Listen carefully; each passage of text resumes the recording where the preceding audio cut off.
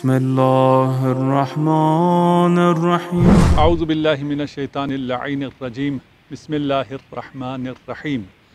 امام حسن مشتبہ علیہ الصلاۃ والسلام سے روایت ہے، من صلی فجلس فی مصلاح الى طلوع الشمس کان له سطرا من النار. امام ارشاد فرما رہے ہیں کہ جو نماز پڑھے، نماز صبح کی بات ہے جو نماز پڑھے اور پھر اپنے مسلح پر بیٹھا رہے، قبلہ رخ ہو کر اسی مسلح پر بیٹھا رہے، الہ طلوع الشمس، جب تک سورج طلوع نہیں کر جاتا، جب تک سن رائز نہیں ہو جاتا، کان لہو سطرن، اسی عمل کی وجہ سے آپ نے نماز پڑھنی ہے۔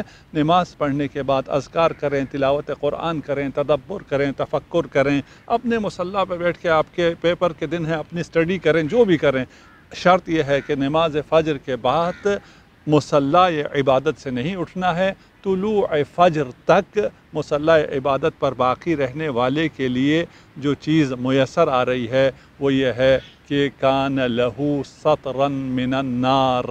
یہ ایک عمل، اتنا مختصر سا عمل، اتنا سادہ سا عمل، اس کے لیے آگ سے حجاب بن جائے گا، پردہ بن جائے گا، آتش جہنم کی آگ اسے چھو نہیں سکے گی۔ کاش میں بیان کر سکوں کہ آتش جہنم کی آگ کیا ہے، جس کے بارے میں قرآن کہتا ہے، التی تطلع علی الافئدہ۔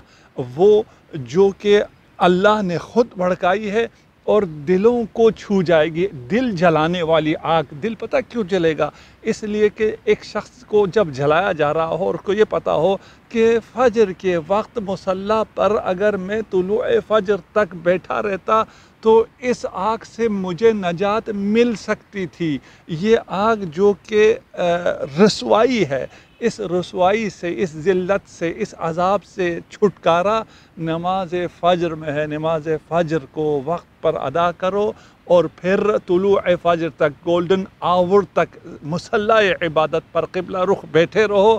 اس کی وجہ سے تمہارا دن گولڈن ہو جائے گا، تمہاری دنیا گولڈن ہو جائے گی، تمہاری عقبہ نجات لکھ دی جائے گی۔ جہنم آتش جہنم سے امید ہے۔ ہم سب اس روایت پر عمل کر سکیں۔ مخصوصاً رمضان کے ان ایام میں جب سحری کے بعد ہم نماز پڑھتے ہیں اور نماز کے بعد طلوع فجر تک ہم عبادت میں مسلح عبادت پر بیٹھ کر مشغول و مصروف رہیں۔